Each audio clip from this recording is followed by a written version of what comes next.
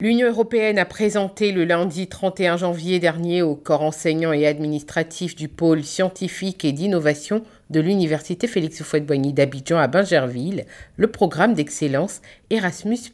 Erasmus+, est un programme pour l'éducation, la formation, la jeunesse et le sport pour la période 2021-2027. Cette mobilité bidirectionnelle permet aux étudiants de suivre leurs études dans une université étrangère et obtenir des crédits qui sont ensuite reconnus par l'établissement d'origine dans le cadre de leurs études. Il n'y a pas de quota géographique, donc c'est vraiment une, un peu une, compétition et donc c'est vraiment à l'excellence de chaque pays de démontrer euh, voilà, des partenariats avec des, euh, des, universités en Europe et puis les étudiants eux-mêmes qui devront euh, présenter les propositions et faire en sorte de partir.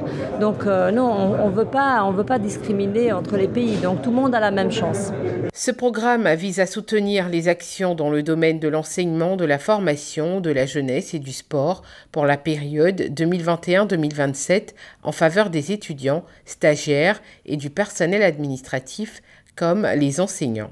Qui dit mobilité vers l'extérieur, donc vers l'international, dit renforcement de capacité.